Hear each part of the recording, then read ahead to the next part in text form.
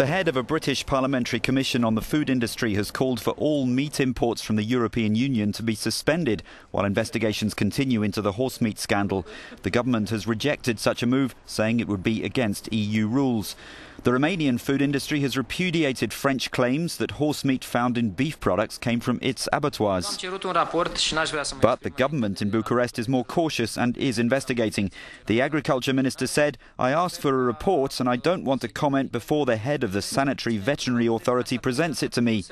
I hope to identify exporters as soon as possible. In the end, it's a matter of product control here before they left for other EU markets. The minister said French authorities had cast suspicion on two Romanian abattoirs. France, Britain, and Ireland are investigating discoveries of horse meat in meat products. In the UK, Findus has said it believes contamination in beef lasagna was deliberate.